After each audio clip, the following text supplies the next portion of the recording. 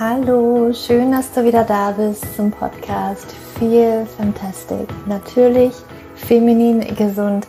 Der Podcast für alle Frauen, die ihr Leben und ihre Gesundheit in die eigene Hand nehmen wollen. Mein Name ist Julia, ich bin Hormoncoach und Autorin des Buches Leben mit dem PCO-Syndrom. Und hier in dem Podcast geht es rund um das Thema Hormone, aber auch einfach Frauenthemen. Ein Frauen-Podcast, aber auch wenn du ein Mann bist, kannst du natürlich gerne ab und zu mal reinhören. Das ist gar kein Problem. So, und vielleicht bist du ganz neu hier, vielleicht hast du aber schon ein paar Podcast-Folgen gehört. Dann, ja, herzlich willkommen hier wieder hier beim Feel Fantastic Podcast. Und bevor wir loslegen, heute gibt es nämlich wieder einen ganz, ganz tollen Interviewgast hier im Podcast, wollte ich dir noch einmal Bescheid sagen, dass du dich jetzt noch und jetzt auch gerade noch für den Frühbucherpreis zu meinem bekannten Recover-Kurs anmelden kannst. Der Recover-Kurs ist dafür da, um deine Periode wiederzubekommen. Also es geht ganz darum, sich die Periode wirklich wieder zurückzuholen, wenn du unter einer hypothalamischen Amenorrhoe leidest, also einem Ausbleiben der Periode aufgrund von Stress, aufgrund von, ja, vielleicht etwas zu viel Sport, wenn du dich auch vom Kopf her nicht von diesem Sport lösen kannst, wenn dir das ganz schwer fällt, weil wir im Außen ja doch sehr lernen, ähm, ja, bei ein bestimmtes Idealbild vielleicht zu entsprechen und dementsprechend uns dann anpassen an ja, die Ernährung, dass wir versuchen immer mehr die Kohlenhydrate beziehungsweise auch die Kalorien runterzuschrauben, immer versuchen mehr Sport zu machen, weil das Sixpack einfach so wichtig erscheint. Und das sind leider genau die Dinge, die die Periode, ja, dass die Periode einfach geht.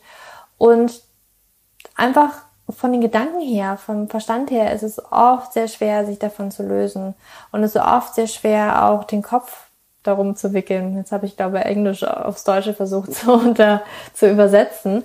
Ähm, es geht einfach darum, dass man da schwer mit zurechtkommen kann oder auch genau zu wissen, was braucht mein weiblicher Frauenkörper jetzt eigentlich? Was braucht mein Körper, damit meine Periode wiederkommen kann? Und genau das lernst du in meinem Recover-Kurs. Und wir haben in zwei Runden schon so unglaublich viele Perioden-Dance-Partys gefeiert und das teilweise auch immer schon innerhalb von drei Monaten, beziehungsweise auch teilweise schon einen Monat nach Beendigung des Kurses. Also es kann auch so extrem schnell gehen. Und ja, ich möchte einfach noch mehr Perioden-Dance-Partys feiern. Deswegen geht der Recover-Kurs jetzt in die dritte und das wird auch die letzte Live-Runde sein. Und da möchte ich, ja, dich einfach nochmal mit begleiten. Das heißt also, wenn du mit dabei sein möchtest, dann melde dich jetzt noch an. Also jetzt hast du noch die Chance und wie gesagt, gerade auch zum Frühbucherpreis und es geht dann so richtig mit mir live, dass wir wirklich gemeinsam durchgingen im September los. Du bekommst aber schon auch Mitte August das erste Modul freigeschalten, wo du schon mal reinschnuppern kannst, wo du schon mal viele Infos bekommst. Und ja, im September geht es dann mit mir gemeinsam wirklich los und wir gehen durch diesen Kurs gemeinsam durch und auch dieser Zusammenhalt in der Gruppe, das ist, glaube ja, das, was, was so viel wert ist, weil die Frauen sich so gegenseitig unterstützen in der gemeinsamen Gruppe und sich anfeuern und sich äh, Hoffnung und Mut geben und das ist einfach immer das Schönste und ja, den Link dazu zum Recover-Kurs zur Anmeldung packe ich dir in die Show Notes und ich freue mich, wenn du mit dabei bist. Jetzt aber geht's zu unserem Podcast, zu unserem Podcast-Gast und das ist Christina.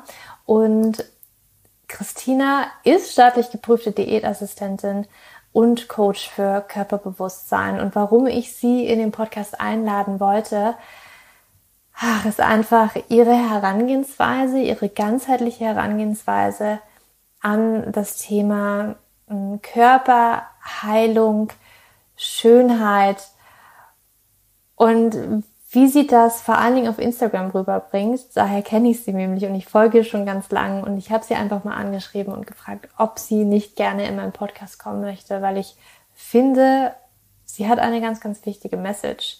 Und wir haben uns ja über Thema Weiblichkeit unterhalten, um ja Zyklus auch aus einer ganzheitlichen Sicht. Und es ist ein so, so schönes Gespräch geworden. Und ich hoffe, dass du für dich ganz, ganz viel daraus ziehen kannst. Ja, ähm, so, dass einfach die Schönheit ja, nicht nur im Außen zu finden ist, sondern auch in dir. Und darum geht es Christina ganz, ganz stark. Und ich denke, das kommt im Interview auch sehr stark raus. Ja, und dass du einfach sein darfst. Du darfst sein, du musst gar nichts anderes machen oder tun, um irgendwie existieren oder sein zu dürfen. Du hast schon alles in dir. Und ähm, ja, in der Hinsicht teilen Christine und ich auch eine ganz, ganz ja, schöne Message, wie ich finde. Und sie macht das einfach so lebendig und vor allem auch in so einer schönen Weiblichkeit, wo ich denke, dass das viele Frauen einfach packen wird, weil ich weiß, dass viele Frauen das Gefühl haben, ich möchte gerne an meiner Weiblichkeit arbeiten. Ich weiß gar nicht, was das für mich bedeutet. Und ja, ich wünsche dir ganz viel Freude bei diesem Podcast-Interview und ja, wünsche dir einfach nur ganz viel auch Aha-Momente und vielleicht ganz schöne, ganz schöne Erleuchtungen heute.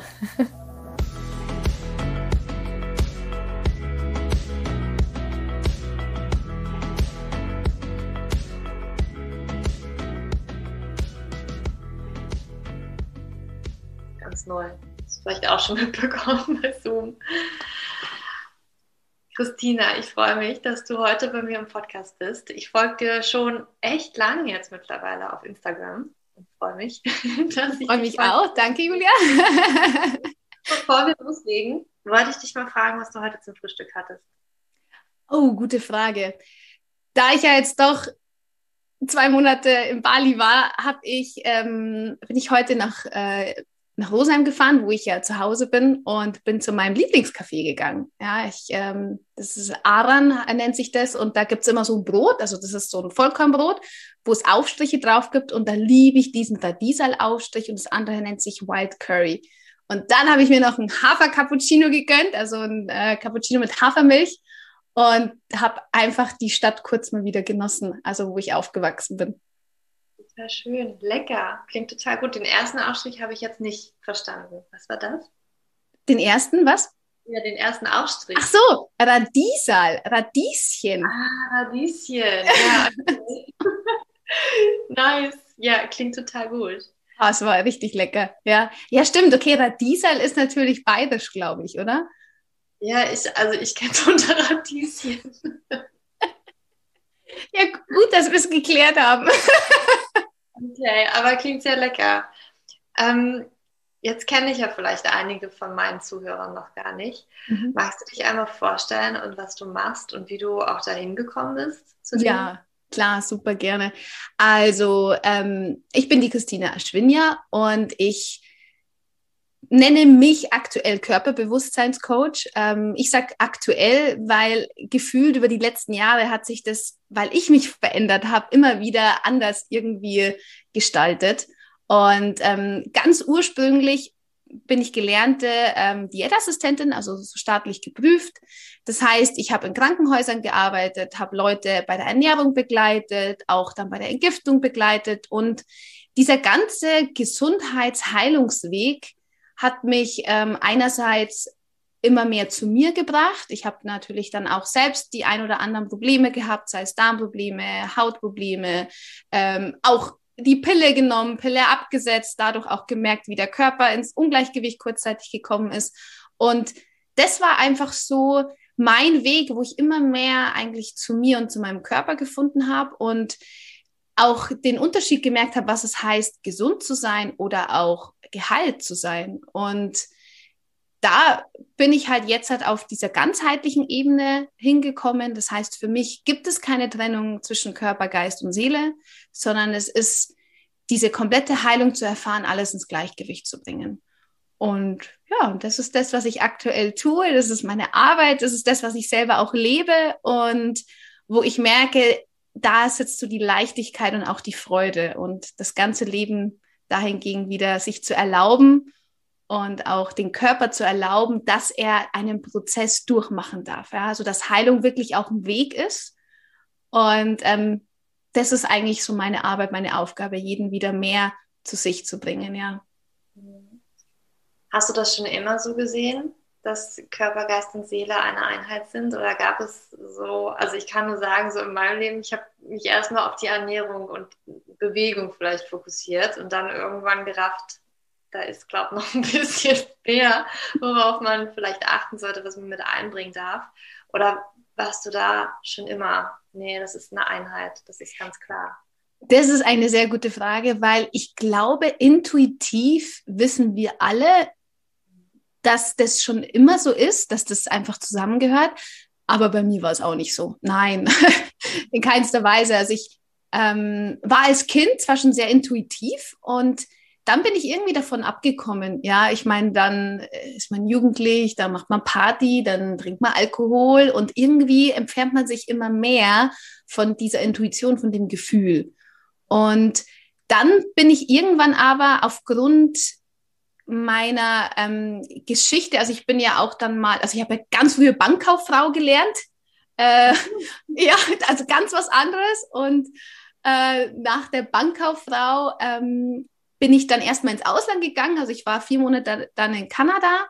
Und in den vier Monaten habe ich damals meine, äh, habe ich die Pille geswitcht. Also ich habe auch die Pille damals genommen als Verhütung und habe dann zehn Kilo zugenommen. Also ich würde es jetzt nicht nur der Pille zuschreiben, sondern ich habe da dort auch sehr viel Party gemacht. Ich habe sehr unkontrolliert gegessen. Ich habe äh, ja so gefühlt alles mal ausprobiert, wenn man halt schon mal in einem anderen Land ist. Und dann bin ich ziemlich aufgedunsen und mit mehr Kilo heimgekommen. Und da muss ich auch sagen, auch wieder hier, mein Körper hat mir halt so krasse Signale gezeigt. Und ich habe dann, wie ich zu Hause wieder mehr so Struktur, mehr ins Gleichgewicht, habe ich auch ähm, schnell abgenommen. Also ich habe innerhalb von zwei Wochen schon sechs Kilo verloren und nach vier, äh, sechs Wochen war ich auch wieder bei meinem Normalgewicht, also wo ich mich wohlgefühlt habe. Und da habe ich dann schon gemerkt, war krass, was das erstens ausmacht, den Körper mitzunehmen und gleichzeitig aber auch, was waren die Lebensumstände. Also ich war damals in Kanada und habe äh, mich von dem damaligen Freund getrennt, wo ich erfahren habe, dass der mich ähm, ja beschissen hat, der hat mit anderen Frauen halt was gehabt, ja. Und ich meine, ich habe mich da nicht so gut gefühlt und habe bestimmt auch aus Frust das ein oder andere halt gegessen. Und ähm, da habe ich ja auch schon ein Gleichgewicht wahrgenommen. Und dann bin ich eben nach Hause gekommen mit dem mehr Kilo, habe aber dann nochmal in der Bank gearbeitet und habe dann aber wieder ein Körpersignal bekommen, in dem, dass ich jeden Tag in der Früh aufgestanden bin und mir war schlecht. Also mir war wirklich kotzübel. Im wahrsten Sinne des Wortes, mir war zum Kotzen. Und zwar, weil mir der Beruf einfach nicht gefallen hat, ja.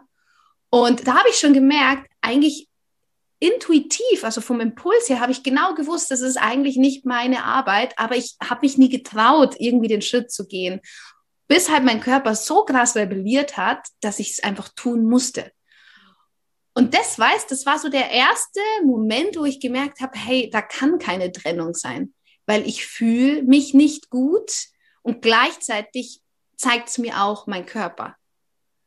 Und das war eigentlich so der Weg zu sagen, hey, ähm, ich möchte mehr darüber wissen. Ich fand es auch unglaublich krass, wie schnell ich wieder Gewicht verloren hatte eben. Und dann habe ich mich eingelesen, ja, dann habe ich gefühlt alle möglichen Bücher über Ernährung gewälzt und habe gemerkt, mir macht es einfach so Spaß. Und dann habe ich in München angefangen, drei Jahre eben Diätassistentin zu lernen. Und ähm, warum Diätassistentin? Ich hätte ja auch studieren können, also ich meine Ernährungswissenschaften oder äh, Lebensmitteltechnologie. Das war mir aber alles ähm, zu ja zu sehr in die Forschung. Ich wollte eigentlich immer auch beraten. Also das hat mir echt Spaß gemacht, mit Menschen zu arbeiten, mit dem im Austausch zu sein. Und die Erdassistentin war klar, da kann ich auch aufgrund der medizinischen Hintergrund auch mit äh, Menschen direkt, die auch krank sind, arbeiten. Ja. Und da war es halt dann so, dass ich auch in der Zeit lustigerweise auch eben dann Darmprobleme hatte. Ähm, ich habe mich halt da viel gesünder dann ernährt. Ja, ich war ja vorher bayerisches Mädel, Schweinsbraten und Spezi. Ja, richtig geil, richtig lecker. Also wer Spezi nicht kennt, ist es Cola und Orange äh, und ähm, Limo gemischt. ähm, an einem Tag mindestens eine Flasche davon getrunken. Und weißt, da dann wirklich auf einmal sehr pflanzenbasiert sich zu ernähren, habe ich auch gemerkt, wo krass, wie der Körper darauf reagiert hat. Und dann habe ich halt auch auf einmal Darmprobleme bekommen. Ja, im Nachhinein weiß ich, der Körper hat mehr gearbeitet, er hat mehr quasi losgelassen und ich habe aber ihn dafür bewertet, dass er es tut. Nachträglich weiß ich, es war schon Heilung. Also da ist quasi schon Heilung begonnen, weil er hat einfach viele Altlasten losgelassen. Und ich war in der Zeit auch sehr emotional. Also ich habe vieles hinterfragt. Ich habe meine damalige Beziehung hinterfragt und habe es aber auch immer sehr viel aufs Hormonelle auch geschoben, muss ich sagen. Ähm, ich habe dann auch irgendwann die Pille damals auch abgesetzt, dann komplett. Und das war auch der erste Startschuss, mich dann von meinem damaligen Freund auch zu trennen, weil ich gefühlt irgendwie überall gestruggelt habe. Also da ist alles hochgekommen, dann kamen noch Hautprobleme dazu und diese ganzen, weißt, körperlichen Erscheinungen haben mich aber dann weitergebracht, um tiefer zu schauen, um wirklich zu hinterfragen, okay, egal was ich gegessen habe, ich habe dann eineinhalb Jahre vegan, glutenfrei gelebt. Ich habe ja dann auch Entgiftungen gemacht. Das hat immer alles tendenziell länger geholfen, aber es hat auf alle Fälle meine Hauptprobleme nicht weggebracht. Also Darmprobleme waren nicht mehr da, also die haben über, über Reinigungen habe ich das alles auch, ähm, ich hatte ja im Nachhinein auch Reizdarm, weil ich gefühlt auf alles reagiert hatte, ähm, war alles wieder im Gleichgewicht, aber meine Hauptprobleme sind nicht weggegangen. Und da ist dann der seelische Weg irgendwie angegangen, ja, weil ich habe gemerkt, okay, immer wenn, wenn ich im Stress bin oder wenn mich was belastet, ja, dann sah meine Haut ganz furchtbar aus. Und ich wusste im Nachhinein, das hat nichts mehr mit der Pille zu tun, weil das war dann schon drei Jahre war das her und ich habe viel entgiftet, ich habe den Körper total unterstützt auf jeglicher Nährstoffebene, versucht, das alles ins Gleichgewicht zu bringen, aber egal auch was ich gegessen habe, sie hat nicht reagiert, sondern sie hat reagiert in dem Moment, wo ich gewisse Themen nicht anschauen wollte, wo ich Themen aus dem Weg gegangen bin, wo ich den Themen nicht ins Gesicht schauen wollte, weil ich hatte nur Probleme im Gesicht. Und genau, und um wirklich diese ganze Heilung zu bekommen, habe ich angefangen dann auch zu meditieren. Also ich habe versucht, weißt mehr in die Ruhe zu kommen, gelassener zu werden, ebenso mein eigenes Gleichgewicht zu finden. Und so hat sich eigentlich jetzt, also das im Nachhinein sage ich dir ehrlich und das hört sich komisch an, ich bin dankbar für meine schlimmen Hautprobleme, weil ohne sie hätte ich den Weg, wäre ich den nicht gegangen. Ich hätte alles so gelassen. Ich hätte nichts verändert, ich hätte nichts hinterfragt. Ich würde mich jetzt nicht so wohl in meinem Körper fühlen, wenn ich das nicht alles getan hätte.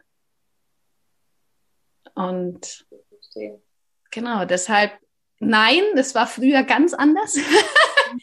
ähm, und jetzt verstehe ich wirklich so eigentlich dieses Gefühl von echt sich im Körper angekommen zu fühlen, den Körper zu lieben und ihn nicht mehr dafür zu bewerten, was er alles tut, weil am Ende macht das wirklich nur für mich.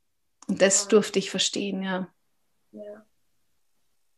Gänsehaut, weil ich mich da so auch wiedersehen kann mhm. in deiner Geschichte. Es ist auch bei mir die mhm. Intuition so stark und auch mein Körper, wenn ich gegen diese gegangen bin, extremst, also wirklich extremst rebelliert hat mhm. auf höchstem Niveau. Und auch die Haut war immer mein mhm. größtes Problem. Mhm. Ich habe auch immer wieder das Gefühl, wenn da wieder was ist, es ist dieses nach außen zeigen. Mhm. Ja. irgendwas, Julia, schau da bitte mal hin. Und das ist so, so, so spannend. Und auch ich kann mich auch sagen, dass ich im Endeffekt so dankbar dafür bin. Auch alles, was irgendwie, alle Erfahrungen, die ich gemacht habe, so schmerzhaft sie vielleicht auch waren. Aber ich wäre heute nicht hier und ich würde heute nicht das machen, hätte ich diese Erfahrung nicht gemacht. Hätte mein Körper nicht so rebelliert, hätte er nicht so klar, also also er musste mir ja irgendwann diese ganz klaren Zeichen irgendwie setzen, weil ich ja gegen diese Intuition, gegen mein, ich sag jetzt mal, mein eigentliches Sein ja so sehr gegangen bin und ich das ja, diese kleine Stimme nicht gehört habe, wo dann halt der Körper sagen musste, okay, jetzt aber, jetzt müssen wir ja richtig eins reindrücken, damit sie es halt auch sieht. So. Richtig eins reindrücken, du sagst. Und da finde ich das so schön, da auch hinzukommen und zu sagen, okay, ich werte meinen Körper nicht ab, ich werte mich nicht ab dafür, sondern ich nehme es einfach an und schaue hin, und sage mir, okay, mein Körper möchte mir damit was zeigen und ich darf da jetzt hingucken. Egal, ob das jetzt ein körperliches Thema ist, aber meistens ist es nicht nur ein körperliches Thema. Ne? Also es ist, und ich weiß, wir versuchen immer so sehr auf, auf dieser, ich sag jetzt mal, oberflächlichen Weise, Ebene was zu machen, ganz viel Darmreinigung, was auch immer irgendwie ein Stück weit was bringt. Aber genau wie du habe ich so diese Erfahrung gemacht, aber es ist trotzdem noch da. Es ist besser geworden, auch meine Haut ist besser geworden, also das habe ich gemerkt. Aber es, es war trotzdem irgendwie immer alles noch so da, weil ich mir mich immer gedacht habe, okay, ernähren, ich habe auch alles durch, vegan, glutenfrei. Ich habe alles gemacht, genau wie du. Ähm, Darmsanierung und keine Ahnung, was ich alles gemacht habe. Also wirklich die krassesten Programme. Und auch ich habe gemerkt, so, okay, da geht auch richtig Entgiftung in Gang und so. Aber es ist halt nie wirklich weggegangen. Bis ich halt wirklich auch gesagt habe, okay, ich muss da tiefer gehen ich muss da viel mehr irgendwie noch reingehen in das, was mein Körper, meine Intuition, mein, mein Geist, meine Seele mir da eigentlich sagen möchte und was vielleicht auch eher mir entspricht, wovon ich abgekommen bin von dem Weg. Und das Schöne ist ja eigentlich, das mitzunehmen. Gell? Also ich, ich glaube, da würdest du wahrscheinlich mir zustimmen, diese ganzen Entgiftungen waren auch gut, weil es gibt ja verschiedene Ebenen, die zur Heilung kommen. Und mir wurde jetzt auch erst äh, vor ein paar Wochen nochmal bewusst, was der Unterschied zwischen Gesundheit und Heilung eigentlich ist. Also gesund zu sein ist für mich der körperliche Aspekt, ja. Also gesund sein ist körperlich gesund. Und aber wirklich ganzheitlich heil zu sein, also in die Heilung zu kommen, bedeutet auch die Psyche mitzunehmen, ja. Und dadurch ist schon so, also ich merke, wenn man auf dieser körperlichen Ebene dreht, kommt automatisch das Seelische mit.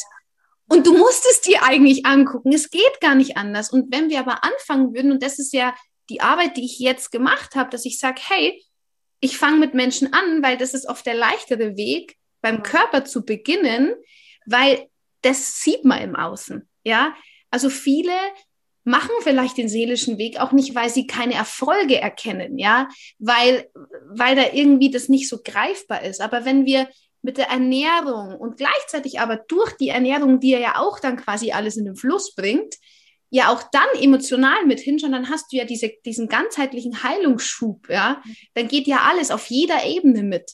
Und du würdest nicht immer nur eine Ebene reinigen und dann wird halt das Seelische sehr präsent. Ja. Und das halt wirklich miteinander verschmelzen zu lassen, das ist für mich einfach so der, der größte Heilungschanger gewesen. Das ist eigentlich eben um jede Ebene geht und dass alles erlaubt ist, ja, und dass auch es erlaubt ist, dass es vielleicht manchmal länger dauert, weil man vielleicht nicht hinschauen will, ja, oder es einfach auch manchmal schwer ist, ehrlich zu sich zu sein, ja, und jetzt ehrlich zu sagen, äh, okay, da habe ich jetzt vielleicht äh, nicht so ganz nach meiner Intuition gehandelt und das ist auch okay, dass es so ist. Ja. Deswegen, also ich, ich glaube, da ähm, war deine Erfahrung bestimmt auch so, es ist am Ende kommt alles zueinander. Es findet zueinander. Auf jeden Fall. Und was ich da auch ganz wichtig finde, ist, also ich stimme dir dazu, voll und ganz. Ne? Das ist auch so meine Beobachtung, dieses, wenn wir auf körperlicher Ebene beginnen. Und dem, also ich sehe das so ein bisschen so, dass der Körper ja auch auf einer gewissen Weise irgendwo geschwächt ist. Ne? Und deswegen auch das alles entwickeln konnte, Symptome, alles, was irgendwie zum Vorschein kommt, die ganzen Wehwehchen. Und wenn wir uns darum halt kümmern, auf körperlicher Ebene auch, kommt ja mehr Vitalität in den Körper auch zurück. Und dadurch entsteht ja auch die Kraft, dass alte Dinge halt auch, okay, jetzt können sie halt wieder hochkommen, was halt vorher vielleicht weggedrückt worden ist, weil nämlich mhm. die Kraft nicht da war. Und ich glaube, dann ist eben auch ganz wichtig, weil dann wieder nämlich Symptome hochkommen können, weil vielleicht ne, so ein ganz bestimmtes seelisches Problem, irgendwas, eine Erfahrung aus der Vergangenheit, irgendein Schmerz wieder hochkommt. Ähm, und dann ist es wichtig, nicht abzubrechen. Absolut, ja. Dann ist es halt wirklich, weil ich glaube, das passiert halt auch ganz häufig. Ähm, manchmal ist man noch nicht bereit und es ist vollkommen okay, es sehe ich auch manchmal im Coaching. Manchmal kriege ich Nachrichten ein Jahr später. Ja, Julia, du hast es mir damals gesagt. Es hat erst ein halbes Jahr später irgendwie kam das wirklich an und dann war ich bereit dafür. Und dann war ich auch bereit dafür, da hinzugucken. Mhm. Ist auch vollkommen okay. Aber es ist wichtig, das nicht wieder wegzudrücken, weil dann ja. wird es, glaube ich, immer wieder weiter brodeln. total dem Ganzen eigentlich den Raum zu geben. Gell? Und, und das, das sagst du auch schön. Ich merke nämlich, durch das, dass du eben ja mehr Vitalität, mehr Arbeit im Körper auch gibst, dass ja auch mehr Raum entsteht, ja, durch das, dass du auch loslässt, ja, Entgiftung raus. Und durch dieses Raum entstehen ist es halt, ist es halt auch möglich, jetzt eben in diese Veränderung zu kommen. Und dann heißt es auch manchmal, okay, was löst sich da gerade? Äh, hingucken, ja, Schmerz, Druck, Trauer. Ähm, und dem, und das ist etwas, da kann, also da habe ich in der Meditation halt total schön gelernt, das einfach da sein zu lassen. Eben wie du sagst, jeder von uns ist es gewohnt, gewisse Dinge wegzudrücken. Ich meine, in der Kindheit sagt man schon uns, hey, schrei nicht, sei nicht äh, äh, laut, sei nicht traurig, du darfst nicht. Wie oft hören wir sowas? ich meine, klar, irgendwo ist es gesellschaftlich vielleicht auch nicht immer toll, wenn das Kind die ganze Zeit heult, ja, aber äh, weißt du, dass man manchmal den Raum dafür öffnet, dass es aber auch okay ist, wenn es so wäre. Mhm. Und, und das, wir sind es gewohnt, die Dinge wegzudrücken. Ich meine, wie oft habe ich auch in Gesprächen mit Freunden gehört, ja, das Thema habe ich total gut verarbeitet. Äh, wo ich sage, wie du hast es verarbeitet? Ja, du hast äh, ich meine, allein, dass man ja immer über Themen dann nochmal spricht, ja, und drüber nachdenkt, deutet ja darauf hin, dass man es eben nicht verarbeitet hat, ja. Und das, das ist einfach so spannend, wie viel wir echt in unserem Körper eingebunkert haben. Und eben durch Ernährungsumstellung, Entgiftung werden sie frei, werden sie sichtbar. Und wie du sagst, dann hinzugucken, das ist halt so diese, diese Königsdisziplin. Das ist am Ende so dieses absolut ehrlich zu sich zu sein und auch zu sagen, hey, in dem Moment war ich nicht bereit und es war okay. Aber jetzt bin ich's. So, und jetzt bin ich stark genug und jetzt schaue ich dahin. Und eben, da ist ja jede Erkrankung ja auch immer so ein Indiz, was es sein könnte. Und das finde ah, das finde ich so spannend.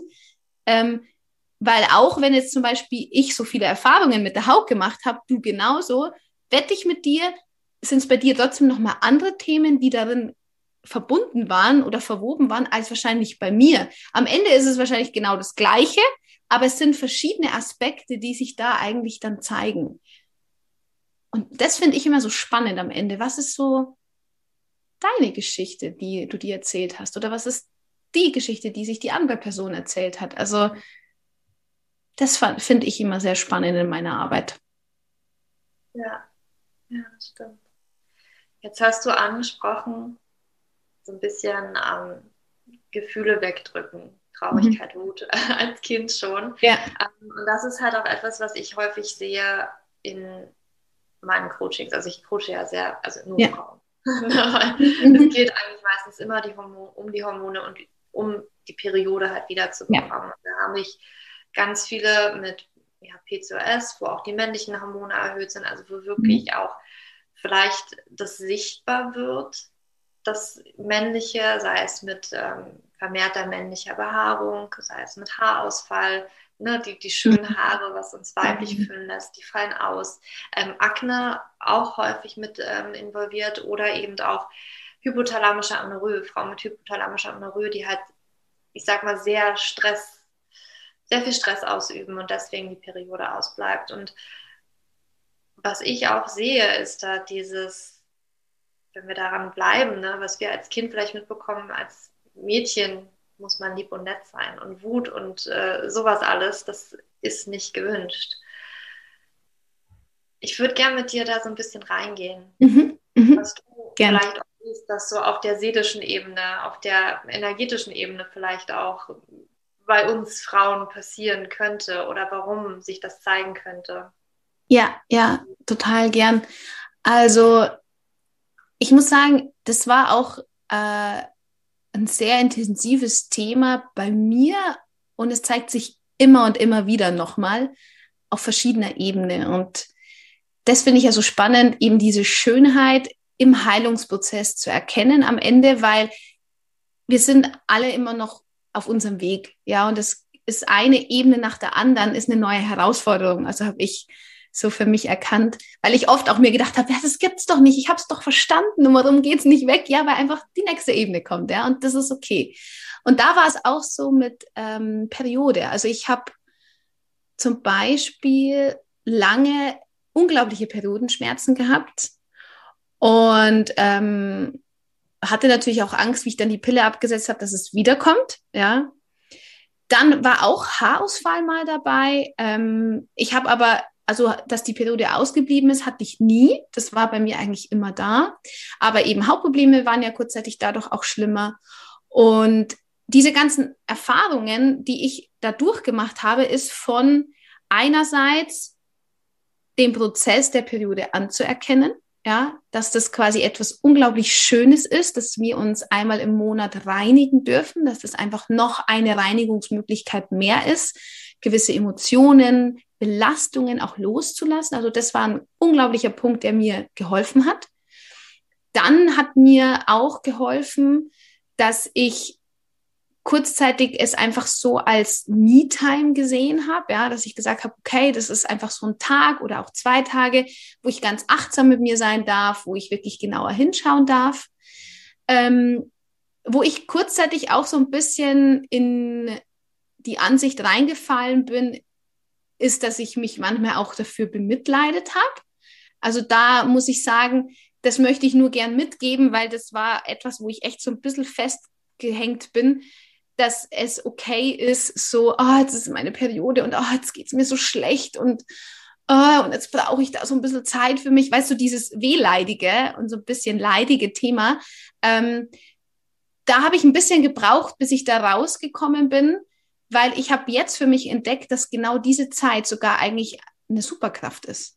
Also, dass ich in der Zeit von der Periode unglaublich ähm, gefühlvoll bin und auch sehr viel wahrnehme und sehr sensibel bin, aber das ist nicht negativ, sondern das ist, das bringt mir ganz viel Klarheit auf jeglicher Ebene, wenn ich mir aber auch diesen Raum dafür gebe, dass ich verletzlich sein darf. Und das hat eigentlich am Ende zu diesem Gleichgewicht zwischen dieser männlichen und weiblichen Energie ein bisschen geführt, weil für mich bewusst wurde, wie stark ich auch durch das Berufliche mehr in diese männliche Energie reingeswitcht bin. Und ähm, da vielleicht, also jeder von uns hat ja weibliche und männliche Energie in sich. Und das wusste ich früher auch nicht. Ja? Also ich dachte mir immer so, hey, ich bin doch Frau, ich bin weiblich, es ist nur Weiblichkeit, ja. Nein, wir haben auch die männliche Energie in uns. Und wenn man versteht, dass zum Beispiel das Kind austragen diese weibliche Energie ist aber dass die Geburt, ja, dieses wirklich Erschaffen, diese Kraft ist männliche Energie.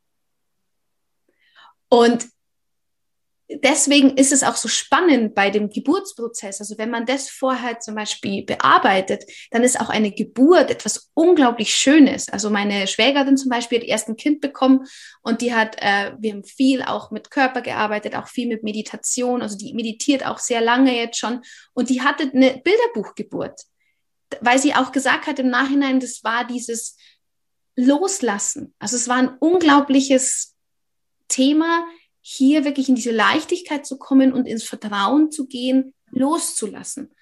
Und auch dieser männlichen Energie zu vertrauen. Und da muss ich sagen, um der männlichen Energie wieder zu vertrauen, musste ich selber hingucken, was ich mit Männern für Themen schon hatte. Ja, also da musste ich echt Vergebensarbeit machen. Ich musste auch Vergebungsarbeit mit meinem Papa machen, obwohl, obwohl ich meinen Papa liebe. Ich habe einen unglaublich tollen Papa, aber ich habe irgendwann bemerkt, durch das, dass man vielleicht auch mal verletzt wurde, weißt in Beziehungen und ich habe irgendwie Männer ein bisschen bewertet. Ich habe sie auch irgendwann verachtet und ich habe irgendwann auch Männern so drüber gestülpt, dass sie am Ende eh einen Fehler machen werden. Ja, weißt du, hätte der geilste Prinz da sein können und am Ende habe ich ihm eigentlich schon immer unterschleifig bewertet, irgendwann wird er ihm Fehler machen. Und da habe ich auch zum Beispiel ähm, mich echt hingehockt und habe mir auch vorgestellt, wie mein Papa mir gegenüber hockt und bin total in die Anerkennung gegangen. Ich habe immer wieder auch in der, also ich meditiere in der Stille und habe immer wieder, habe ich gesagt, ich erkenne dich an und immer wieder sind neue Gedanken gekommen. Ja, dann ist eine Wut gekommen, dann ist eine Trauer gekommen und auch das, ich erkenne es an, ich erkenne es an. Bis irgendwann der Moment kam, wo ich wirklich, und da muss ich fast, also merke ich gleich, wie ich selber nochmal emotional werde, ähm, bis der Moment kam, wo ich gesehen habe, dass ich auf meinen Papa zugehen konnte und ich konnte ihn umarmen. Ich konnte ihn wirklich aus tiefster Liebe umarmen und ich habe angefangen, ihn zu akzeptieren. Und dann ist mir bewusst geworden, in dem Moment, wo ich ihn akzeptiere, habe ich auch meine männliche Energie angefangen zu akzeptieren. Und boah, das hat so viel aufgemacht. Das hat zum Beispiel auch diese Akzeptanz mir erlaubt, auch mit Männern anders, anders zu reden. Ich habe angefangen, mehr Grenzen zu setzen. Ich habe angefangen, auch ehrlich zu kommunizieren und habe mich jetzt auch mehr getraut, auch die weibliche Energie mehr zu leben, auch wirklich eine Verletzlichkeit zuzulassen.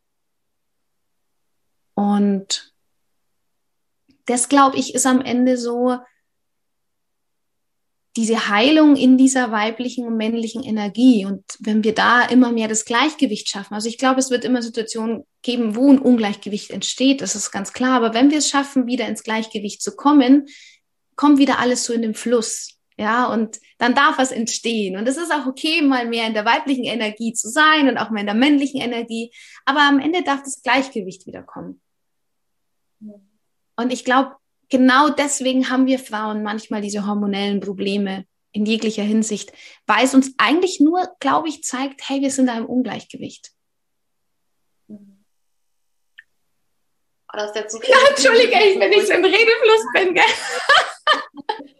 ähm, vielleicht auch erstmal, also ich habe manchmal das Gefühl, erstmal, dass ich, manchmal wird sich so dran aufgehangen, männlich, weiblich und äh, mhm. ähm, aber was man da, glaube ich, verstehen muss, ist einfach, man kennt es auch jeden und ja. Ja, total. Wenn man das anders bewerten möchte, ne, dass das einfach Qualitäten sind und mit jeder Qualität werden bestimmte Eigenschaften eventuell auch zugeschrieben. Das heißt nicht, dass irgendwas gut oder schlecht Absolut. ist. Wir haben immer diese Bewertung mhm. vor allem. Das ist genauso Gefühlen. Wut ist schlecht, Freude ist total toll.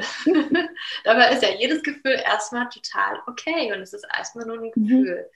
Mhm. Ähm, aber vielleicht können wir da jetzt nochmal sagen, ähm, ja, was wären dann eher Eigenschaften, die dem männlichen Prinzip zugeschrieben werden und was eher Eigenschaften des weiblichen, also eher yin-lastigen? Mhm.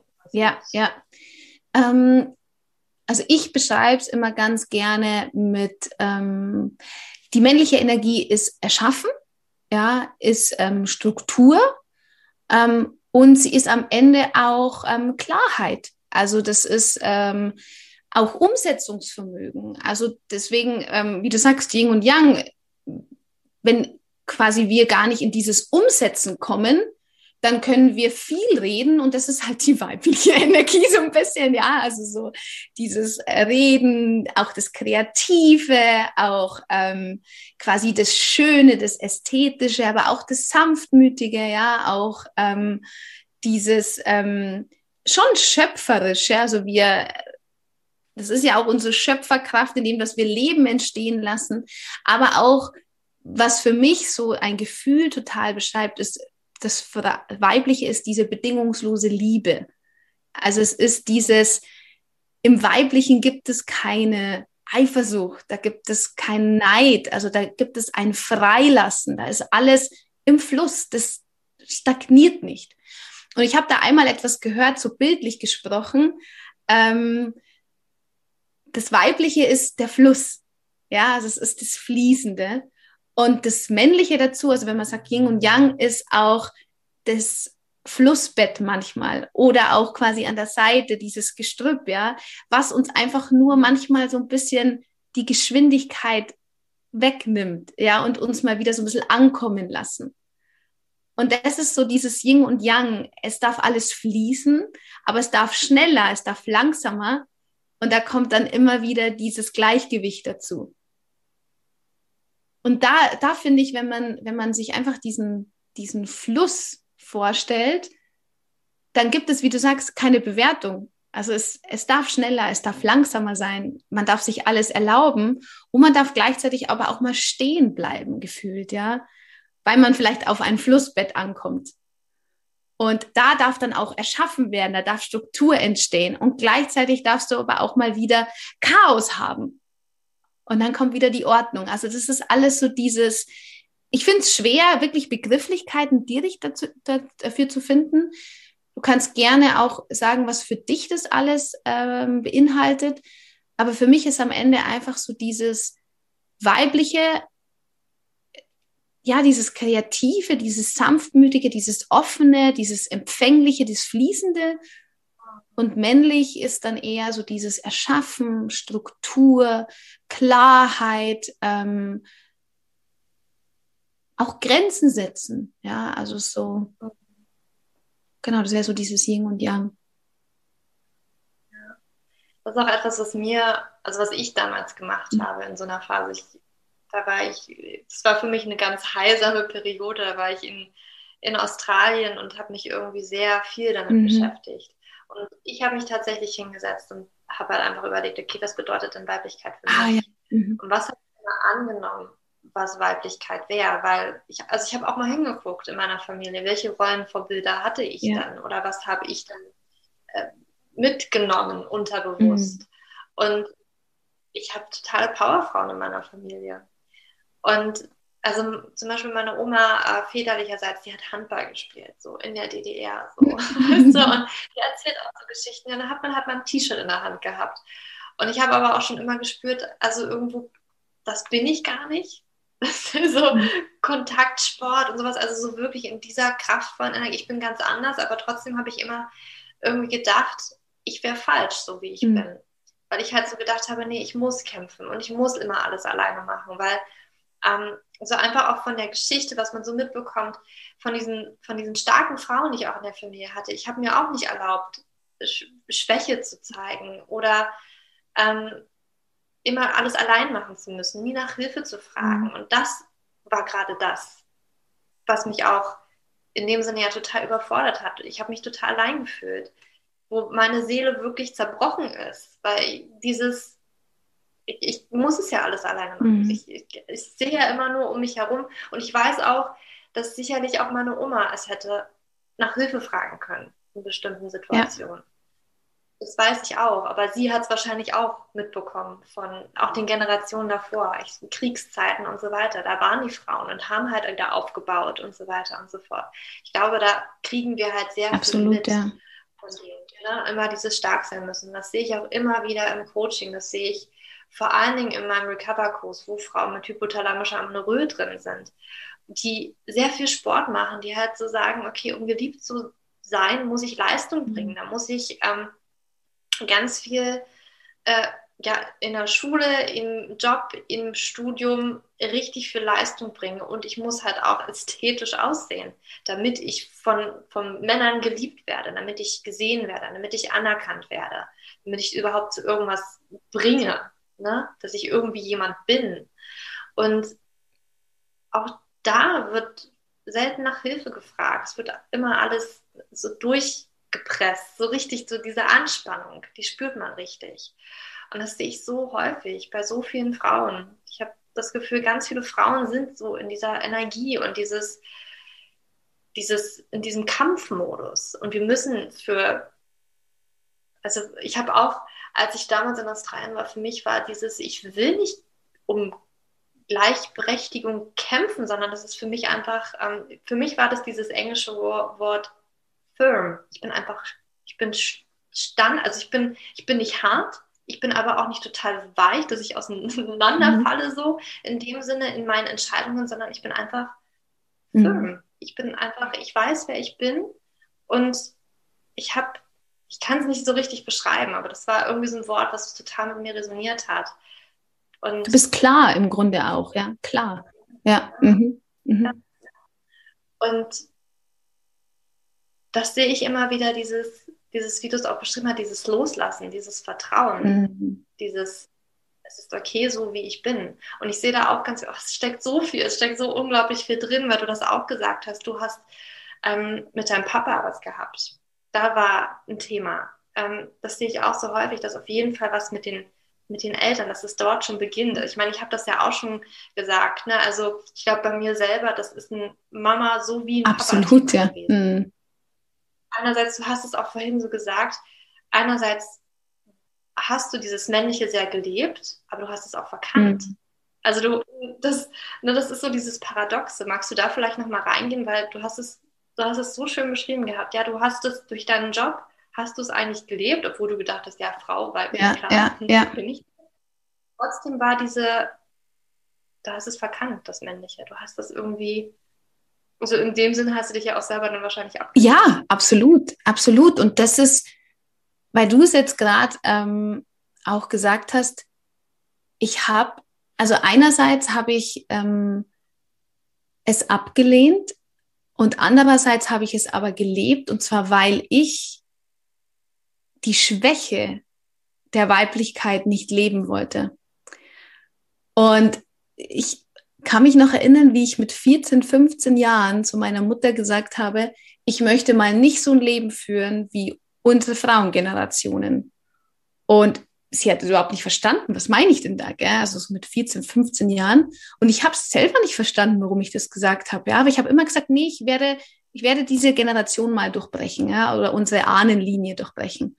Und jetzt im Nachhinein verstehe ich, was ich damit meine. Und zwar, alle Frauen bei uns in der Familie sind auch sehr stark. Ja, also ich würde sagen, dass jede Frau unglaublich stark ist.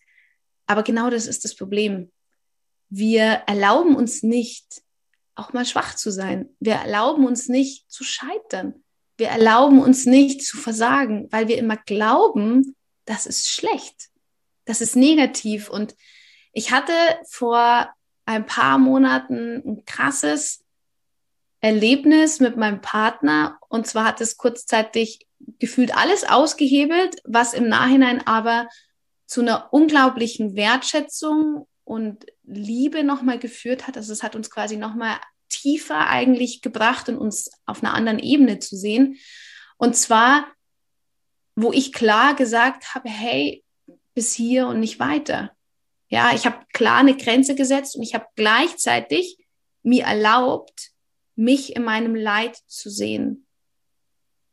Und ich habe mich nie in meinem Leid sehen wollen, weil ich meine Eltern, also nicht meine Eltern, meine Mama, meine Oma und alle manchmal dafür bewertet habe, dass sie unzufrieden sind mit ihrem Leben. Ich habe immer gesagt, ja, dann verändert's doch. Was soll denn das, ja? Weißt, dann es gibt doch immer eine Möglichkeit. Ich habe es nicht verstanden, aber ich bin ja auch nicht in der Generation aufgewachsen nach dem Krieg, ja, wo man abhängig von dem Partner ist und so weiter. Und mir war immer klar, ich möchte nie abhängig von einem Mann sein. Ich möchte mein eigenes Geld verdienen. Ich möchte meine eigene Arbeit haben und ich möchte in jedem Moment entscheiden können, was ich tue. Und das war absolute männliche Energie.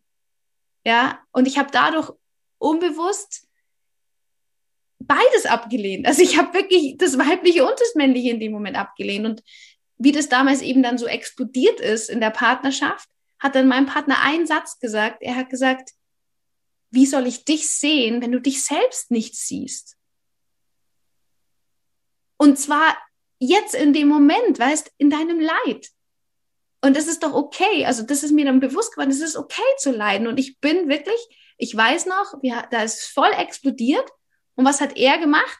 Er hat sich umgedreht und ist gegangen. Das war das Klischee eines Mannes, was ich im Kopf hatte. Ich traue mich gerade, mich verletzlich zu zeigen. Ich traue gerade, traue mich, schwach zu sein.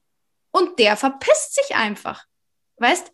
Also das, dieses Klischee ist komplett in Kraft getreten. Aber diese Situation hat mir so viel Raum gegeben, echt reinzufühlen. Und ich bin vorm Spiegel gestanden, ich habe in den Spiegel geguckt und habe wirklich, ich habe mich weinen sehen und ich habe es anerkannt, dass ich weine. Ich habe mir erlaubt, in dem Moment schwach zu sein. Und ich sag's dir, er sagt bis heute noch, er weiß nicht, was passiert ist. In dem Moment hat es auch bei ihm Klick gemacht. Also das war irgendwie so, wo ich mich getraut habe, mich jetzt zu sehen in dieser Schwäche, hat alles verändert. Es hat auf einmal Raum für Heilung gegeben, auch für ihn. Also er hat mich ganz anders danach gesehen. Auch ich habe mich anders gesehen. Und das ist eben so spannend. Ich habe, wie du sagst, ich habe einerseits, weißt, das Männliche verachtet und dadurch auch gemerkt, dass Männer in meinem Leben es gefühlt nie richtig machen konnten, weil ich so viel Raum in diesem Männlichen eingenommen habe, weil ich einfach nicht schwach sein wollte. Und ich, ich habe halt auch, wie du sagst, Bewertung, wir bewerten so viel. Ich habe halt irgendwie auch angefangen, das Leben anderer Frauen zu bewerten, dass sie sich dafür entschieden haben. Aber weißt, am Ende ist alles ja eine Entscheidung. Und wenn man damit zufrieden ist, ist es auch okay. Ich wollte es halt einfach nicht. Und deswegen, ich sag's dir, der größte, die größte Veränderung in, in mir ist wirklich mich echt in meinem Leid zu sehen, mich zu trauen, schwach zu sein. Und das hat eine krasse Veränderung gebracht. Ich hatte auch kurzzeitig Gänsehaut. Schön, ja. Ja, also das ist immer noch, wo ich sage, boah. Aber war gut. War gut, dass es so war, ja. Ich sehe das auch so häufig auch bei mir, dass ich, ne, dadurch, dass ich auch in vergangenen Beziehungen immer so sehr männlichen war, das ist ja auch immer der, das ist ja auch in einer Beziehung immer sehr schwierig, weil der Mann, der muss es ja irgendwie immer ja. machen. Der muss ja noch männlich sein, um da drüber mhm. zu stehen. Und bei mir, ich habe das so gemerkt, ich wurde dann so, ich will jetzt nicht sagen kontrollierend, aber ich habe dann so alles hinterhergeräumt. Und natürlich, ne, alles, dieses, das typische, diese Glaubenssätze, die man hat, wurde ja auch immer bestätigt. Ja, Klassik. Mhm. Ja, irgendwie auch zu erkennen, dass man ja so seinen eigenen Part auch mit dazu spielt. Weil dadurch, dass man halt, okay, in diesem drin ist, in diesem, okay, ähm, vielleicht Dinge auch erkämpfen müssen, sich ja Liebe auch erkämpfen müssen und sowas alles, ne? Ähm, dass der Mann ja da immer immer eins drüber stehen muss. Der muss ja irgendwie immer diese Männlichkeit noch toppen. Und das ist, glaube ich, auch für den Mann sehr mhm. anstrengend. Total, total. Und ich habe das auch gemerkt, so in meiner jetzigen Beziehung, ich habe das, dadurch, dass ich mich mit diesen Themen dann auseinandergesetzt habe, ich bin viel gelassener ich lehne mich echt wirklich zurück und sage, ja, okay, ich muss das nicht alles mhm. machen. Und das passiert alles in seiner Zeit. Und dadurch gebe ich ihm ja auch viel mehr Raum, wirklich in seine Männlichkeit auch zu kommen und der Mann auch zu sein. Ähm, und das ist, klingt nicht immer. Wir sind alle noch am Üben, gell?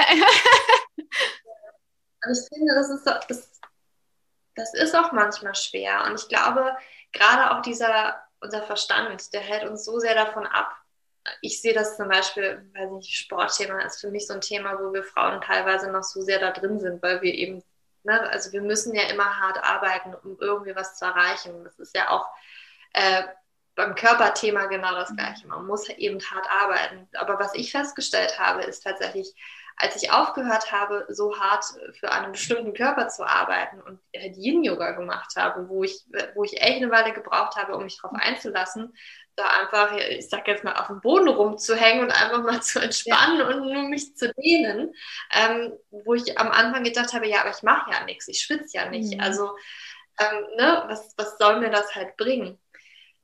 Habe ich halt gemerkt, das bringt mir eigentlich alles. Und tatsächlich das Beste für meinen Körper ist Schlaf und Entspannung und ähm, einfach ja, mich ausgewogen, gesund ernähren und tatsächlich gucken, dass es mir gut geht.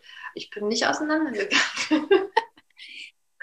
und es, es, ja, es war, und das ist so diese Erkenntnis in allem, also das sehe ich überall, in allen Lebensbereichen gerade, dieses, wenn ich mich zurücklehne, also je, mehr, je mehr ich wollte und je mehr ich versucht habe, das so zu machen, wie, wie das auch vorgelebt wird, sei es im Business, ja, da gibt es ja unendlich viele Coaches, die halt sagen, nee, du musst keine Ahnung, du musst da wirklich rausgehen und du musst jetzt marktschreierisch irgendwie was erzählen. Das, das Einzige, was es mit mir getan hat, ist, mich ausgebrannt. Mhm. Weil ich so sehr in diesem, okay, kämpfen, ich muss, ich muss tun, ich muss machen. Und komischerweise immer dann, als ich ausgebrannt war, mich zurückgelehnt habe, weil es ging nichts mehr, dann ist es auf einmal wie automatisch gekommen und ich musste gar nichts mehr tun. Und das ist so meine größte Erkenntnis, ist aber auch der größte Struggle, weil man immer wieder in dieses Hamsterrad reingeht, ja, ich muss ja, ich muss ja was tun, ich muss ganz viel tun, ich muss ganz viel arbeiten, um, um etwas Bestimmtes zu erreichen, um etwas Bestimmtes zu bekommen. Aber es ist manchmal tatsächlich oder ganz häufig einfach so, nee, ich darf mich zurücklehnen, ich darf tatsächlich formulieren, ich darf darüber sprechen, was ich eigentlich möchte. Und es kommt auf einmal. Es ist irgendwie total unverhofft, kommen auf einmal bestimmte Dinge, ohne dass ich, ich, ich weiß nicht, ich kann es mir auch nicht immer erklären. Das ist, muss man ja auch nicht, aber es ist einfach so. Und ich darf mich auch noch viel mehr trauen, einfach immer wieder viel mehr in dieses, es kommt schon zu mir und ich darf mich einfach auch mal entspannen da drin. Da, ja, also es ist es ist paradox und es fällt so schwer, einfach vom Verstand her das zu verstehen. Das, da sprichst du etwas an, das war jetzt Gefühl die letzten zwei Monate in Bali jeden Tag irgendwie so meine Aufgabe war. Das war, es war so spannend, weil ich habe richtig gemerkt, äh, ich weiß nicht, ob das von, von der Mentalität Deutsch kommt oder von wo auch immer, aber ich habe schon gemerkt, wie krass kontrolliert ich einfach immer noch bin, ja, und wie sehr, wie viel Erwartungen ich habe, ja, wie viel Vorstellungen, wie etwas sein zu haben muss, ja, und ebenso dieses, es muss, muss, muss und ich muss das tun und jenes tun, weil sonst kann ich ja nichts erreichen und ähm, ja, so Art, wenn du nichts tust, brauchst du dich nicht wundern, dass nichts kommt, ja, und ich würde immer sagen, das Einzige, was wir tun müssen, ist am Ende uns das Gefühl zu erlauben, was gerade im Moment präsent ist, ja. Und da, wie du sagst, so in diese Entspannung zu kommen, das, das dürfen wir echt lernen und das sollten wir auch lernen. Und dann kommt alles zu uns. Ich habe gemerkt, sobald ich eher unschuldig bin, ja, mühelos und nicht in irgendeiner Erwartung, boah, dann kommt es. Und zwar so, wie ich es mir gar nicht mit dem Verstand hätte kontrolliert vorstellen können, ja. Es kommt immer noch viel geiler. Und das ist am Ende so, ja, natürlich heißt es jetzt nicht die ganze Zeit nur rumzuhocken, aber du kommst genau in deine Power und du kommst in deinen Flow, wenn du dir, wenn du in der Stille oder in der Entspannung einfach mal deine Gedanken auch sortiert hast, ja, weil dann kommt eben so diese Klarheit, um in diese Umsetzung zu kommen. Und ich habe ähm, ich habe ähm, bei einem äh, Coaching mitgemacht, also es hat so strategiemäßig sich angehört, aber es ging am Ende auch so um Werte. Und da habe ich dann zum Beispiel so fünf Wertepyramiden für mich zusammengestellt. Und auf einmal hat es so viel Klarheit gebracht, weil ich bemerkt habe, wow, was ist eigentlich so meine Base? Gell? Also was ist so meine Basis? Und ich glaube, das hat jeder was anderes. Man könnte auch sagen, es ist eine Erdung, aber für mich ist es der erste Schritt, in diese Anerkennung zu gehen. Ja. Und Und Anerkennung bedeutet einfach alles mal zu sehen, wie es ist. Ebenso raus aus der Bewertung, ja, alles irgendwie so, okay, was, was möchte mir, ähm, ja, wa, was ist jetzt einfach? Einfach voll anzuerkennen oder auch anzunehmen. Das ist so für mich die Base. Der nächste Punkt ist dann, dann kommt die Klarheit. Ja, dann kommt, okay, was könnte denn der nächste Schritt sein? Aber ich muss es nicht tun, sondern es ist einfach, ich gehe ihn einfach. Das ist dieser im Fluss zu sein, ja, sich zu öffnen, zum Empfangen. Und dann habe ich gemerkt, kommt so eine Leichtigkeit. Und nach dieser Leichtigkeit erkenne ich auch diese Schönheit in diesem Prozess. Ja, in diesem, dass eben alles sein darf. Und am Ende, was vielleicht nicht für jeden greifbar ist, aber kam für mich halt als oberster Punkt diese Göttlichkeit, ja. Weil am Ende ja alles in uns ist. Wir, wir haben ja schon alles. Also wir müssen nicht irgendwas erreichen oder irgendwas tun, um ja in dieses Göttliche zu kommen. Und ich darf mich aber jeden Tag daran erinnern. Ja, wie du sagst, mein Gott, wie habe ich gehasselt, wie habe ich äh, gesagt, ich muss das, das und das tun, um das zu bekommen. Nein, ich habe letztens wirklich, ich habe ein äh, paar Tage mal gar nicht gearbeitet. In dem Moment kommen Anfragen rein, wie nochmal was, weil ich einfach nur entspanne. Und sobald ich sage, oh, ich muss mehr tun, ich muss da noch Werbung machen und das, das und das, funktioniert es nicht wie du sagst, man kann es manchmal nicht erklären. Aber ich habe bemerkt, wenn ich so unschuldig, weißt du, wie so ein Kind, so unschuldig, so ganz spielerisch, ah, probieren wir mal da aus, ah, so ganz mühelos, auf einmal, wumm, eröffnet sich was.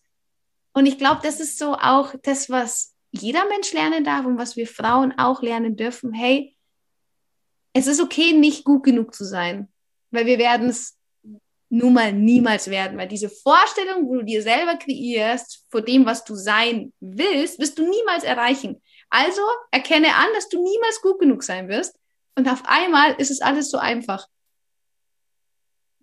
Das war so mein Learning. Hey, ich bin einfach nicht gut genug und das ist total okay. In dem Moment war es leicht.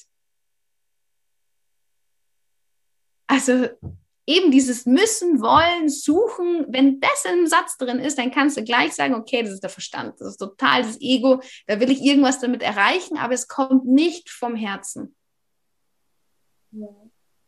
Hast du vielleicht ein Tool für uns, eine, ein Tipp, eine Idee, wie wir tatsächlich mehr in unser Herz kommen können, mehr in dieses, okay, in dieses Vertrauen vielleicht auch, weil ich glaube, das fällt, meine Beobachtung, es fällt sehr vielen schwer, wirklich dieses Loslassen, dieses vom Verstand sich lösen, vor allen Dingen auch vom Außen sich lösen.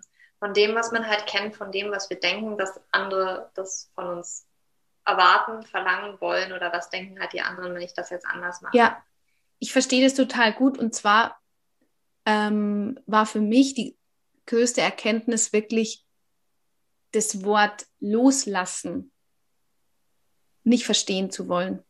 Weil loslassen, also das, mich hat dieses Loslassen total eingeschränkt, gell, weil ich mir immer gedacht habe, ich kann nicht loslassen, ich check's einfach nicht, wieso kann ich nicht loslassen, ich verstehe es nicht. Weil loslassen war für mich so das, ich habe die Hände so fest, ja, als Beispiel, und jetzt muss ich in dieser Anspannung, in diesem Widerstand, muss ich loslassen. Das funktioniert nicht. Das ist ein Kraftakt, der da passieren muss, damit ich da in dieses Loslassen komme um eben ins Herz zu kommen. Das heißt, du musst rein theoretisch in diesen Druck, in diesen Schmerz so viel Kraft aufwenden, dass sich das jetzt öffnet. Loslassen ist eigentlich das falsche, der, der falsche Begriff. Wenn du es auseinander nimmst, dann ist es am Ende einfach ein Lassen. Einfach sein lassen. Und das, was ich am leichtesten mache, ist indem, dass ich es wirklich sein lasse, indem, dass ich aufhöre zu kämpfen, dass ich es loslassen muss sondern dass ich mich echt da reinfallen lasse. Und das ist das, was ich oft in der Meditation mache. Wenn ich merke, ich struggle, es ist mir alles zu viel, dann hocke ich mich hin. Ähm, früher habe ich noch Ohrstöpsel gebraucht, ähm, damit ich einfach alles still habe. Ich nehme da auch keine Musik, gar nichts, sondern ich bin einfach mit mir. Und das ist das größte Learning, es mit dir selbst auszuhalten, ja, mit all deinen Gedanken, mit all deinen Emotionen, Gefühlen, Druck und so weiter. Und wenn du dich dahin hockst und einfach nicht sagst, ich muss jetzt loslassen, sondern einfach dich öffnest und dich fallen lässt. Es ist ein Reinfallen in die Situation. Bildlich gesprochen, ein Reinfallen in ein federleichtes Daunenbettdecke, Wäsche, weißt du, dass du, wo du so einsinkst. Ja, es ist eigentlich wirklich ein Reinfallen in diesen Druck und es ist ein komplettes Kapitulieren, den Kampf aufzugeben. Weil wenn du es loslassen möchtest, brauchst du zu viel Energie, um es wirklich loszulassen. Also einfach wirklich dieses Losstreichen und es einfach lassen. einfach sein lassen. Das ist so, wo ich sage, das muss man nicht immer meditieren, sondern wenn du dir selber sagst, ich lasse es jetzt einfach und es auch wirklich sein lässt, kann das auch schon Heilung mit sich bringen. Und dann auf einmal bist du wieder mehr im Herz, weil du nicht mehr im Verstand bist. Ja. Genau. Ja. ja. Ich sage auch immer, man kann da mit kleinen Dingen anfangen. Ja. Zum Beispiel, das fängt ja schon mit so an, zum Beispiel ich heute. Ich müsste heute das Bad putzen. So. Ich weiß aber, ne, das ist so dieses, eigentlich habe ich gar keine Lust heute drauf. Ne? Und eigentlich rennt es ja auch nicht weg. und was ich dann auch immer so sage, ist es halt wirklich in diesem Moment, so schwer es auch manchmal fallen mag, weil man ja wirklich da so drin ist und dieses, nee, das Bad muss heute aber wirklich geputzt werden, weil sonst, mhm. also nee. Es ist wirklich da reinzugehen für mich und jetzt mal, manchmal ist es wirklich dieses Zwingen zu sagen, nee, okay, mhm. ich lasse es heute einfach, so wie du das gesagt hast. Und ich lege mich jetzt mal auf die Couch und versuche das mal auszuhalten. Gucke mal, was das mit mir macht. Und ich glaube, das ist schon mal der erste Schritt manchmal, also ich finde, manchmal muss es auch nicht klappen. Also es ist jetzt ein banales ja. Beispiel. Ne? aber manchmal ist ja einfach, ja. Ja, damit fängt es halt schon total an, ne? weil wir da schon immer dieses, okay, ich muss jetzt aber noch sauber machen und ich muss jetzt noch putzen und ähm, keine Ahnung. Also die Toilette muss auf jeden Fall geputzt werden, wenn jetzt der Besuch kommt. Ich meine, die sieht nicht schmutzig aus, so in dem Sinne, ja, weil äh, die wird eh jede Woche sauber gemacht. Aber ganz ehrlich, meistens ist es so, wenn der Besuch da war, dann muss man eigentlich putzen, weil dann nämlich alles in der Wohnung, also dann hatten die Schuhe an oder keine Ahnung. Aber nein, man muss davor immer alles machen. Ne? Aber ganz ehrlich, ich glaube, keiner läuft so durch die Wohnung und ne, also keiner erwartet das irgendwie. Wir legen uns das ja immer selber auf. Und das, ich finde, dass wenn man so im Kleinen anfängt, eventuell kann man das ja auf das Große auch ausdehnen. Das ist wirklich in diesen, in diesen, ja, nicht immer unbedingt so, das sind halt Dinge, die sind greifbar, ne? wo man halt so sagt, okay, dann mache ich mir halt viel Stress. Ja. Ähm, und dann kann man vielleicht davon auch wirklich so mehr in diese Achtsamkeit reinkommen und sagen, ja, okay, wo, wo mache ich das denn eigentlich noch in meinem Leben? Voll. Also, weil du es gut angesprochen hast, ich glaube, dass viele auch, ähm, also es geht nicht immer nur um Leichtigkeit, ja. Also es ist schon auch so, dass manchmal einfach ein Schweinehund überzwingt, also den darf man auch mal, da darf man auch mal durchgehen, weil das ist am Ende auch sich zu erlauben, einen Schmerz zu fühlen, ja, oder auch mal durch eine Trauer zu gehen, ja. Also das verstehen viele, glaube ich, immer falsch. Und ich merke es auch bei meinem Teaching. Ähm, als Beispiel, äh, ich habe eine Zeit lang meine 5 AM Challenge gemacht. Da bin ich jeden Morgen um 5 Uhr aufgestanden, ja. Und ich habe mich wirklich dazu zwingen müssen, dass ich aufstehe. Mhm. Aber der große Unterschied ist, ich habe einen Tag zuvor gesagt, ich mache es. Und da hat es sich leicht angefühlt und hat es sich angefühlt, hey, ich möchte das jetzt machen. Und dann, wie der Wecker geklingelt hat, da kam nämlich dann der Schweinehund, da kam dann so das Ego, der Verstand, nee, wieso machst du das und so weiter, ja. Und das ist einfach nur Bullshit, ja. Und, und das ist einfach, wo ich sage, okay, da muss man halt einfach mal durch, ja. Also da darf man dann auch mal durch. Und das ist das wirklich ja, einfach reinzugehen und dahinter dann diese Leichtigkeit zu erkennen. Weil wenn du aufgestanden bist und bist eine halbe Stunde wach, auf einmal merkst du, wie geil es eigentlich ist. Dann siehst du den, die Sonne aufgehen und du merkst, wie, wie, wie schön die ganze Atmosphäre ist, wie viel du schaffst. Ich sag's dir, in der Zeit habe ich Dinge geschafft, weil ich in der Früh einfach alleine war, weißt, da hat keiner angerufen, keiner geschrieben, überhaupt nichts.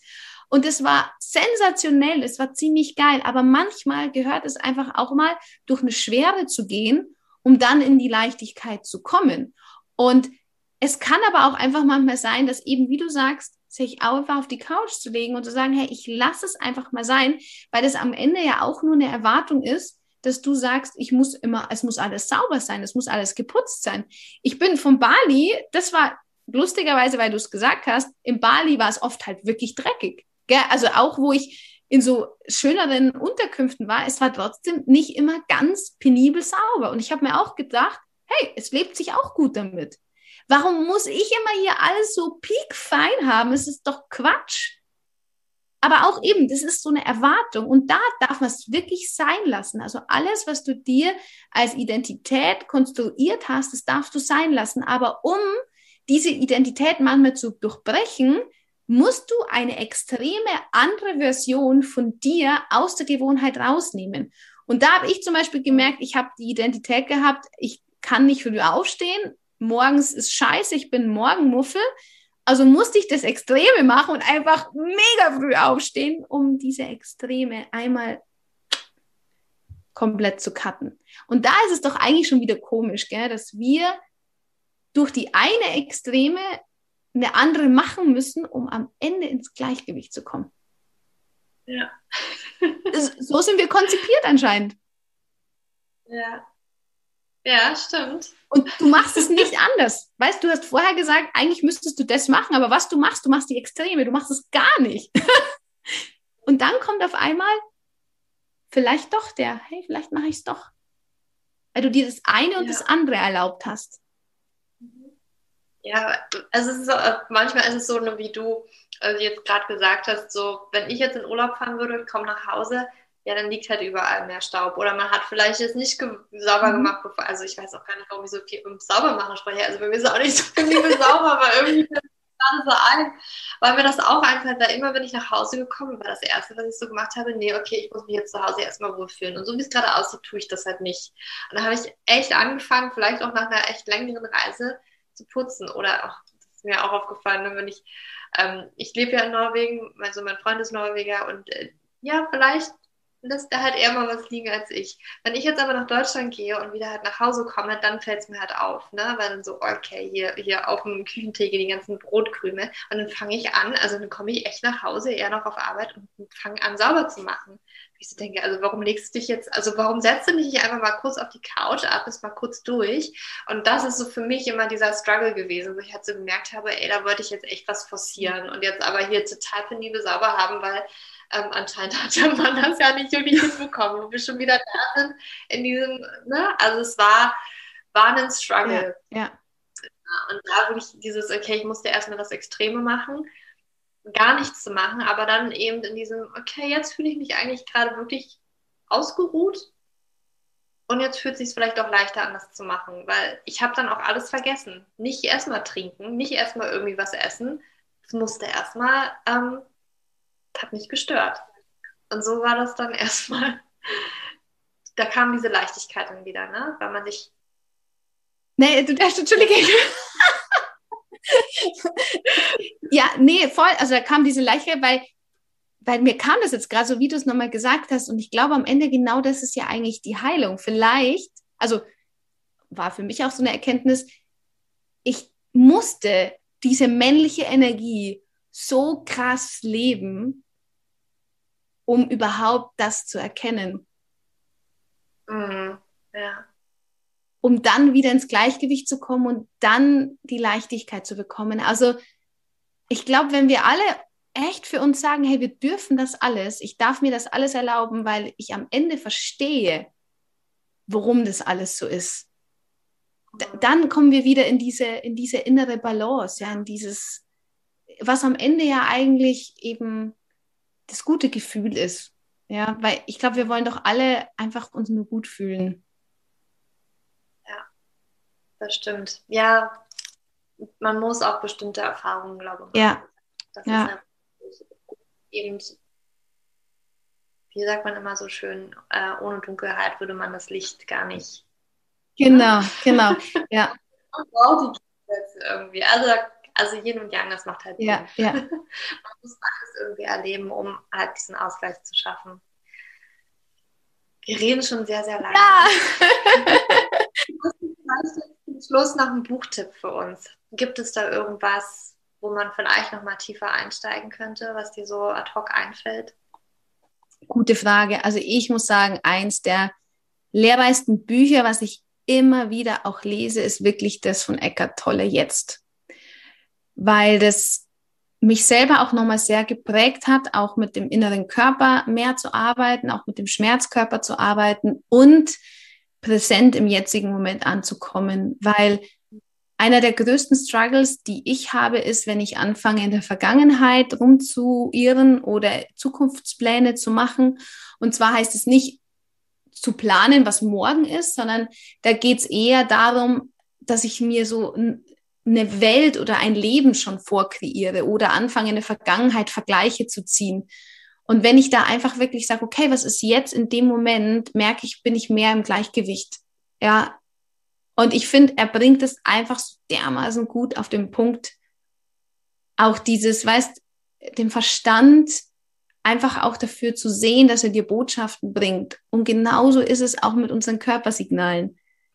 Sie sind am Ende nur Botschaften, die einfach um Anerkennung suchen, suchen, gesehen zu werden und sie uns einfach helfen, wieder das Gleichgewicht zu bringen. so war. Christina, wo finden wir dich dann?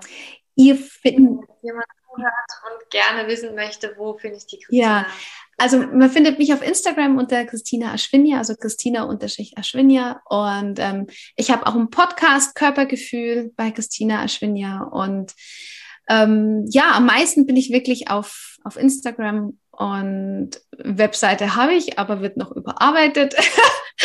Wer weiß? Ich meine, du bist eine Inspiration, allein, dass du auch ein Buch geschrieben hast. Das ist etwas, was ich auch immer gerne mal machen würde. Ich hatte nur immer noch nie so, weiß, diesen Headliner, diesen Titel. Aber vielleicht kommt es irgendwann. Ja. Und ich sag jetzt schon mal vielen lieben Dank, Julia, für den Austausch, für das, dass ich hier in deinem Podcast sein durfte und vielleicht die ein oder andere Inspiration, auch Impulsgeberin vielleicht sein konnte, vielleicht, dass jeder sich mehr anerkennen darf, sich mehr erlauben darf, dass wir klein, groß, traurig, gut drauf, geliebt, aber auch nicht geliebt. Also wir dürfen alles gefühlt sein und wir dürfen alles fühlen und das ist das, was, glaube ich, am Ende, wofür ich irgendwie da bin, was ich gerne mitgeben möchte, dass wir uns alles erlauben dürfen und wieder raus aus dieser Verurteilung und ja. Schön, ich danke dir, Christina. Auch für deine Zeit, dass du heute hier warst. Gerne. Für die Danke, danke.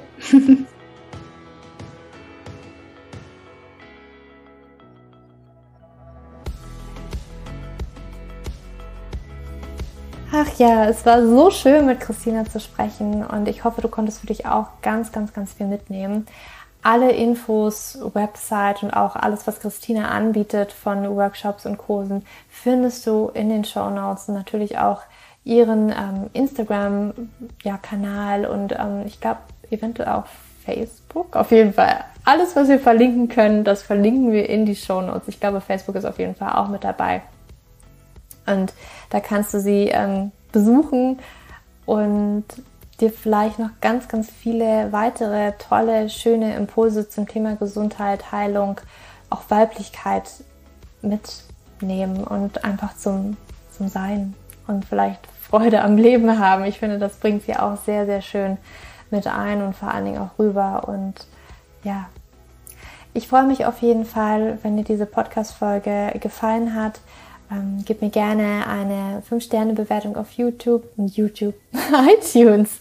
Mensch, hier, Julia, konzentrier dich mal, wenn du hier sprichst. Ähm, aber gerne auch auf YouTube kannst du mich natürlich auch besuchen. Da gibt es den Podcast natürlich auch zu hören. Ähm, aber ja, ich freue mich natürlich über eine Bewertung auf iTunes und lass mich gerne auf Instagram wissen, äh, wie du die Podcast-Folge fandest, ob du noch weitere Fragen hast. Ähm, ja, schreib mir das einfach oder was auch deine Aha-Momente waren finde ich auch immer ganz spannend. Was konntest du mitnehmen aus dem Podcast? Ja, jetzt wünsche ich dir aber noch einen wunderschönen Tag oder Abend, wann auch immer du diese Podcast-Folge gehört hast. Und wie gesagt, jetzt gerade gibt es den Recover-Kurs noch zum Frühbucherpreis, wenn du dich heute bzw. das Wochenende jetzt anmeldest. Und ja, fass dir ein Herz und hol dir deine Periode wieder. Und ja, ich wünsche dir jetzt noch einen schönen Tag oder Abend. Deine Julia.